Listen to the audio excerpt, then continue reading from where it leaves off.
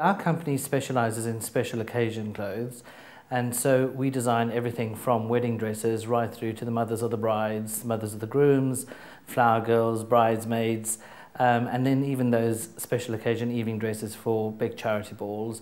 Okay, Eric, I know you've brought in some of your fabulous dresses, so let's take a look. They're being modelled today by Miss England Eleanor Glynn. Hello, Eleanor. Uh, talk us through number one then. This particular dress is really special because um, most girls today don't have the perfect figure, and so I can't believe you just said that, Eric. well, Present company accepted, obviously. well, we know we have this whole size zero thing going on. Yes. But um, with this dress, it's gathered in the waist, which means that if you don't have that perfect washboard stomach, it, it gives a sort of slight drape over the stomach, um, and then with a slight bit of lace detail across the one bust, which is quite nice as a focal point. And how would you say that wedding dresses have evolved over the years? Because they've changed so much, haven't mm. they? Well, you know, generally speaking, um, long time ago when people used to design wedding dresses, they used to use a lot of foundation garments, lots of petticoats, a lot of corsetry, which is incredibly fashionable um, even today. But the most important thing is that brides today actually want to feel really comfortable. Mm. And they don't want to feel as if they're restricted in what they're wearing. So you'd find that most dresses today don't have corsets built in. They'd have a bustier or some form of foundation garment. But all that sort of construction that goes into the wedding dress is not that prevalent anymore. So Eleanor's back with dress two. Talk us through this one, Eric. Well, we um, have designed this dress so that the bust line forms the main focus point.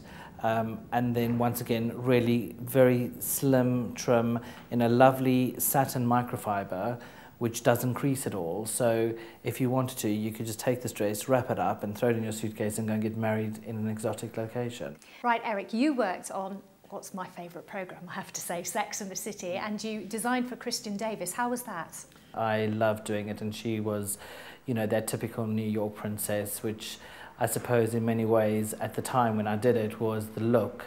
And, um, you know, working with um, Sex and the City was such an immense sort of thing because we became so worldwide known by having that association with that television series. Time now then for dress three, another beautiful dress. Again, it's very slender, Eric. Yeah, what, what I've done here is I've used um, the lovely corded lace in the bodice and then um, the soft net frills to the bottom of the dress. Um, the thing that most girls are concerned about when they buy a dress is that they generally feel that their bust, their waist is the best part of them and sometimes they have a bottom um, problem that it doesn't fit that well over the hips. Tell me um, about it. but then I would say, you know, with those kind of situations, um, the best advice from a designer's point of view is that you don't have to go and wear a dress that is really wide over your bum.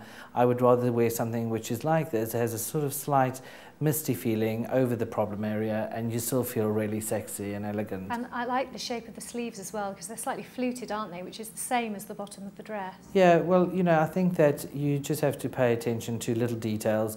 You've got to remember that a sleeve is quite important because once you sign the registry, you're going to have photos taken, so it's quite nice to have that in the photos. So um, I would say, you know, plan your wedding carefully and don't don't make the biggest mistakes by going for the biggest meringues.